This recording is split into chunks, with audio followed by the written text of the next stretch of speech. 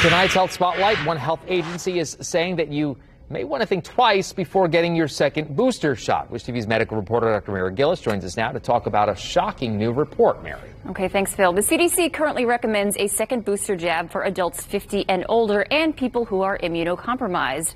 Expanding the recommendation to all groups is expected to come this fall. But one agency says not so fast. According to the European Medicines Agency recommendations, frequent COVID booster shots could adversely affect the immune response.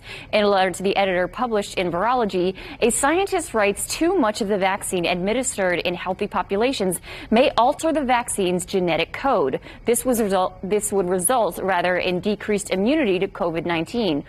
Organ inflammation, shingles, and organ damage may also result. The letter to the editor also raises the possibility of becoming antibody dependent, which means the more vaccine injected, the less neutralizing response it will elicit. Antibody, de antibody dependency also raises the risk of enhancing virus entry and replication in the cells. Reporting from the studio, I'm Wish TV's medical reporter, Dr. Mary Gillis.